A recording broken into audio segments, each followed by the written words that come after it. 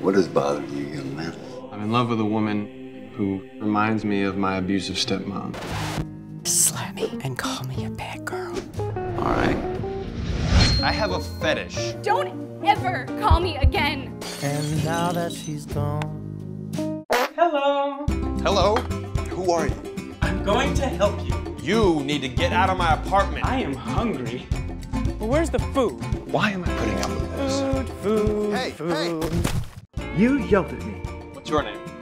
Who is your friend? It's a date. That means two people. You liked me before, you don't like me now?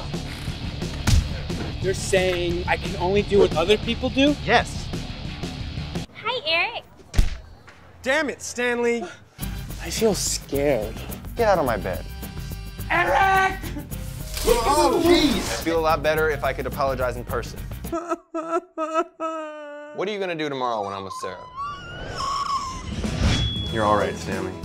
Be my friend, be my friend. I'm lonely. You'll find some friends in there. Hey, baby. Goodbye.